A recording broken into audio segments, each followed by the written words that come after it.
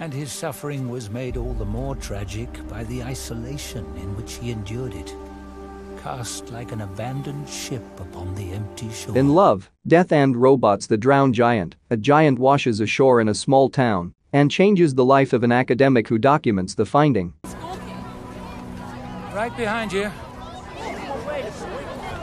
In Love, Death, and Robots Season 2, Episode 8 The Drowned Giant, when the corpse of a real-life giant washes ashore in a small town, an academic's life is changed as he documents the evolution of the corpse's decay. Proportions of his features made it impossible to assess the age of the giant.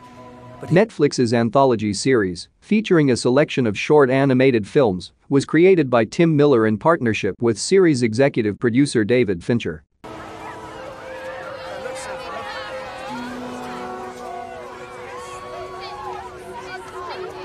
The first season, Love, Death, and Robots Volume 1 premiered on Netflix in 2019. The Drowned Giant is the final episode of the second volume of short stories adapted for the screen. The Love, Death, and Robots Season 2 episode follows the narrator as he describes what happens to the dead body of a giant, naked human being after it's discovered on the beach of a fishing village. At any moment, clap his heels together and crush the minuscule replicas of himself that swarmed around him. The short film is based on the story by J.G. Ballard. Originally published in 1964, the speculative short story written by Ballard and adapted for the Netflix show is like something out of the Odyssey or Gulliver's Travels. It's a fable about a monster who resembles a giant human being. The giant's story of decay serves as a metaphor for many things.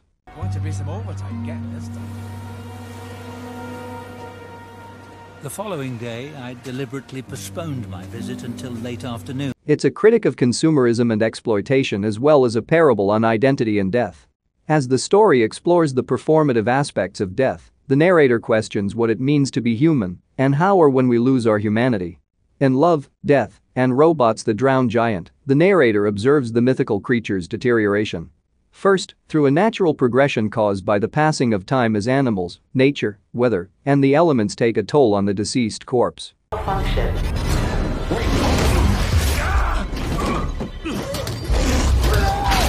But then one day the scientist notices an arm has been amputated, and later, the head.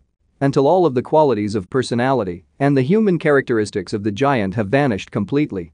The giant's death has taken on a life of its own.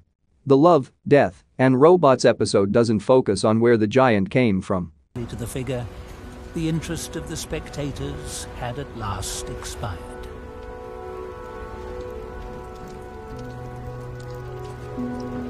The people are more interested in the sensational aspects of the event and the entertainment value of it. Something has happened in their small, fishing town and they want to be a part of the legend that gets told about the giant long after the body has become only a collection of its parts. Just when he thinks the allure of the giant has faded from the townspeople's memory, the narrator notices pieces of the giant around town, a large bone, like an awning, hangs above a shop in one scene. The bones and body parts, no longer whole or human, have become mere decoration. In the episode's final scene, the giant's male appendage is on display inside a large circus tent. This is taken directly from the original story. Ballard closes with this detail to emphasize the humiliation and degradation of the giant and man's superficial and exploitative nature. As the narrator explains, the circus has incorrectly labeled it as belonging to a whale. As merely a large sea beast. But the giant is still alive for me. And here, in the end, the giant has been completely stripped of his humanity, remembered by this single body part mislabeled as belonging to an animal.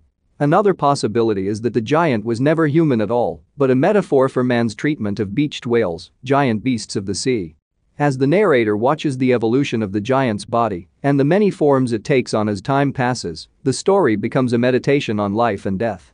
The giant's identity has been replaced in the eyes of the living, but the narrator takes solace in the fact that parts of the giant's body have remained in nature, becoming one with the sand and the sea. Netflix's Love, Death, and Robots reintroduces Ballard's The Drowned Giant to audiences who continue to contemplate the meaning behind the classic tale decades after its first publication. Through the streets of town, picking up the fragments of himself on his return journey to the sea.